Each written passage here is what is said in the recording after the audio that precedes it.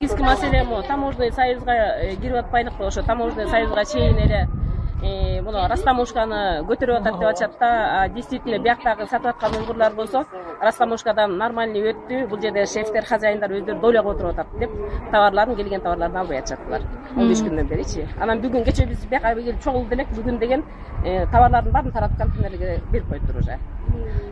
Биздин абалыбыз өтө оор болуп атат иштей албай калдык таптакыр мисалы таможенный союзга чейин эле мунугу уйгурлардын товарлары бизге келип атат алардын баасы кымбаттабаганы менен бир ар бир улондон он үч метрден он беш метрге чейин жетпеген недостаток менен келип атат. Аны менен эсептеп биз чыгарсак биздин баабыз эки жүз элүүдөн эки жүз алтымыштан саткан баабыз үч жүздөн чыгып атат азырчы?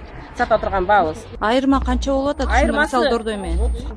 элүү сом элүү сомго чейин кетип калып атат. Бул эми эски товарлардан деле көтөрүп атат эски э? товар таможняга азыр таможняга киргенден кийинкиге чейинки эски товардын баарын көтөрүп салышкан булар кечээ дагы бир маселе койду да маселе койгонсуңар жип жөнүндө фурнитура боюнча ಉಳಿದುರಗೋಯ್ಚ ಬಾರ್ದು Çünkü bir, bir açacak şey vardı. Boşoz yerde ol oldu. Значит, 4, 8, 4, 9 menen bu cebe gelse 5 menen, 5 dolar da koydu. 5 dolar menen gel geldi, 320 son bol degan bir tarafına.